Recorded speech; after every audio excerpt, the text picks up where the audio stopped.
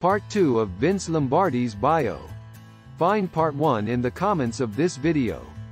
In 1954, the New York Giants hired him to become their offensive coordinator, where he helped the team win the NFL championship in 1956.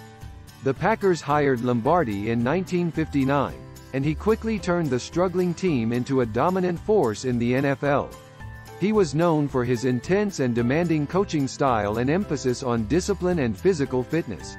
Lombardi's success with the Packers led to his being named head coach of the Washington Redskins in 1969, but he retired from coaching the following year due to health concerns. Lombardi passed away on September 3, 1970, at the age of 57.